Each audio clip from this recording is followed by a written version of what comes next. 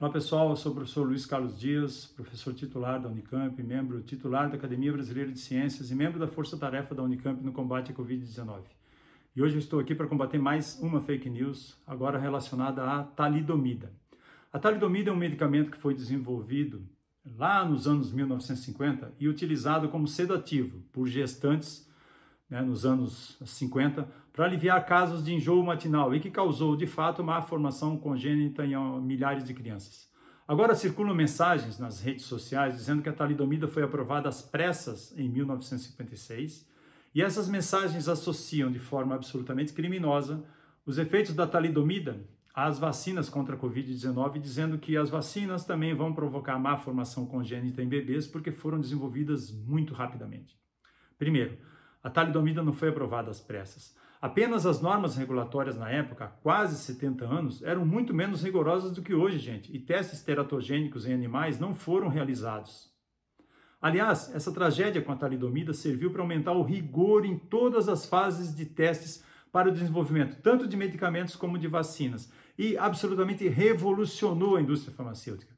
E convenhamos, a ciência avançou muito do, da década de 50 para cá, né?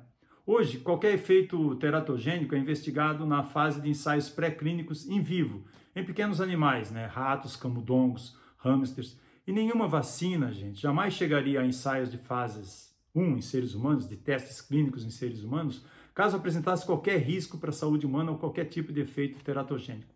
Nenhuma vacina contém talidomida, assim como nenhuma vacina causa deformidades em bebês.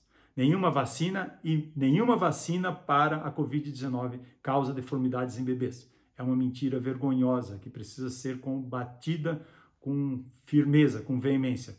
Vacinas salvam milhões de vidas por ano. As vacinas para a Covid-19 vieram para nos tirar dessa pandemia, para diminuir o espalhamento, a disseminação do vírus SARS-CoV-2. Esse sim, que mata, que já matou 2 milhões um pouco mais de 2 milhões de pessoas no planeta, que já matou quase 220 mil pessoas é, no Brasil. Ele mata, ele deixa sequelas, algumas irreversíveis. A ciência deu uma resposta extraordinária. As vacinas contra a Covid-19 são um marco na história da saúde pública, um dos maiores legados dessa pandemia. Vamos abraçar a causa da vacinação em massa contra a Covid-19. Vamos ajudar a salvar vidas.